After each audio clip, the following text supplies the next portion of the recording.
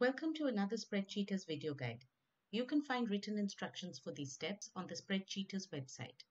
In this video, we'll see how to calculate average percentage in Excel. Excel is frequently used for calculations and supports all basic mathematical uh, operations and it has a number of functions that can help you uh, when you're creating formulas. So to calculate the average percentage uh, in Excel, we can use a number of formulas. So we're going to look at two approaches, uh, sorry, a number of functions. We're going to look at two uh, approaches. One is to use the average function, which as the name suggests, uh, computes the mean or the average of a set of numbers. And the second way is to use functions, but then use the uh, mathematical, basic mathematical formula for calculating an average, which is the sum of the numbers divided by the uh, number or the count of the numbers. So let's look at the first way, which is to use the average function.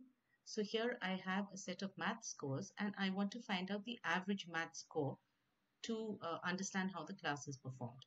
So I will type equals average. So this takes a series of numbers. I can either put a range or a, a number, a series of numbers separated by commas. In this case, my data is organized as a range. So I select that, close brackets, and I have the average. That's the first way. The second way is to use the uh, formula. So I'll say first I need to add up the numbers. I'll do that using the sum function. This also takes a range of numbers or a series of numbers separated by uh, commas and close brackets. So I've got the sum. Now I to get the number of values, I'll use the count function.